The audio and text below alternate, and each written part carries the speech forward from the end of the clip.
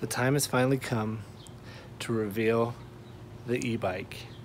It works, the battery is hooked up, all the parts are added, and I've even done a few test rides. I'll show those to you later, the very first ride on the bike. Um, but it's been fun. I've been riding it for about a week now and uh, to and from work. It's downhill to work, uphill home, and the bike is working awesome. So without further ado, let me roll the slow motion, nice music, bike reveal montage.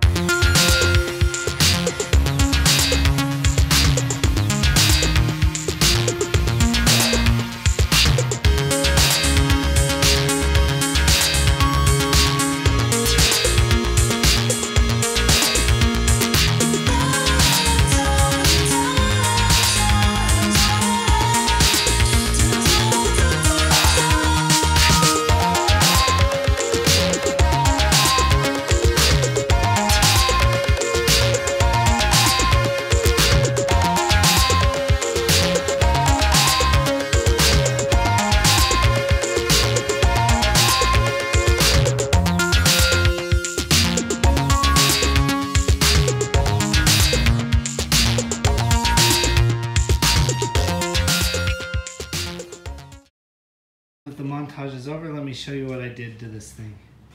A lot of it looks pretty much the same from when, you know, I walked through each step of what I was going to do.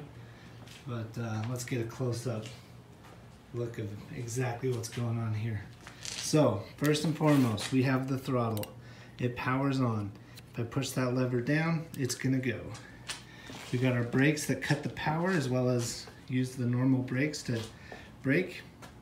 I've added an LED light for nighttime. That's crucial.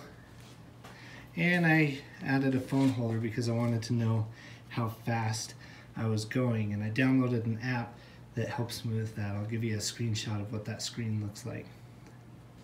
All right. So I ran the cables. Let me go to the other side.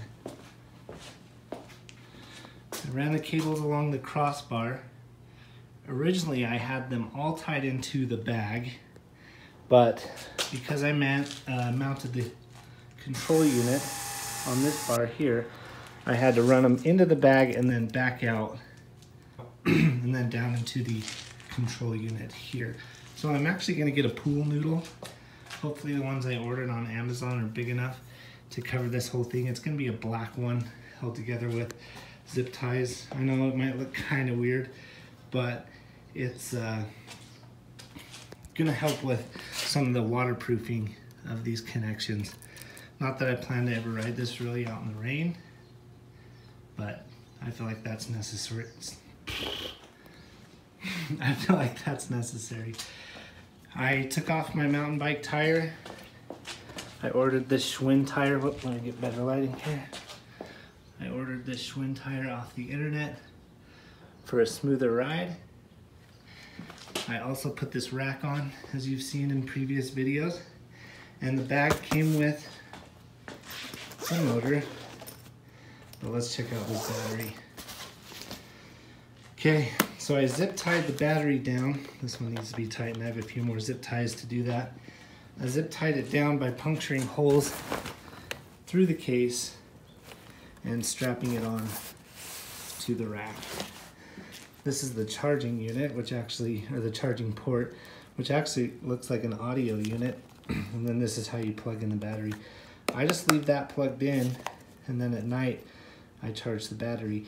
It does take about 10 hours to charge, which seems a bit excessive, but um, when I bought the battery, they said that that would be the best way to expand the length of the battery is by a slower charge. So it takes about 10 hours. Let's see, what else did I do? That's pretty much it as far as modifications go. Uh, my father-in-law mounted this. Uh, we tuned up the bike the other night so the brakes would work. Um, I had the gear shifter tuned up, but it seems to be stuck again. But not like that really matters other than if I run out of batteries and I need to pedal. But yeah, here's the bike. Let me show you the first test ride. Roll clip. This is the inaugural ride of my DIY e-bike. Ready?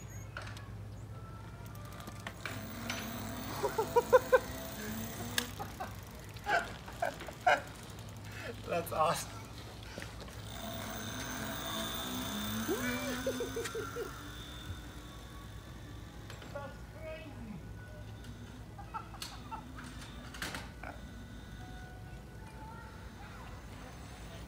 That's fast.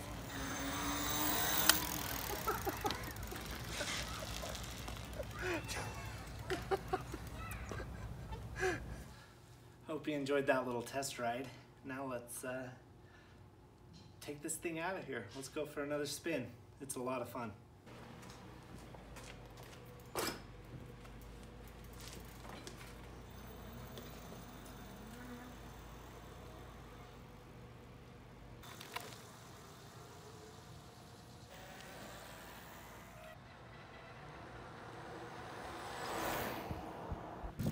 This thing is so rad.